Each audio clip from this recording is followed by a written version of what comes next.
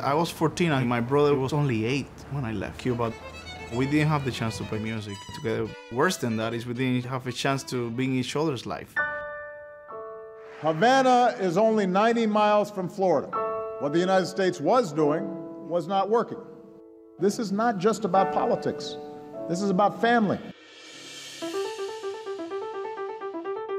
Aldo and Ilmar Lopez Gavilan are brothers from Havana, Cuba.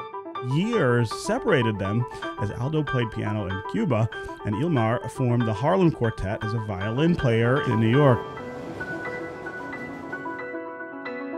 Ilmar y yo siempre hemos tenido esta, este sueño de, de tocar juntos, girar el mundo entero juntos.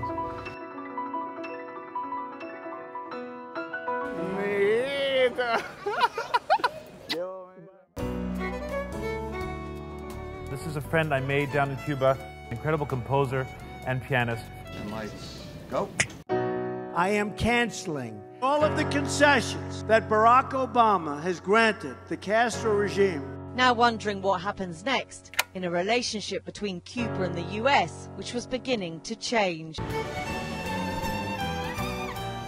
We have a very distorted view. Cuba's an incredibly creative and rich culture.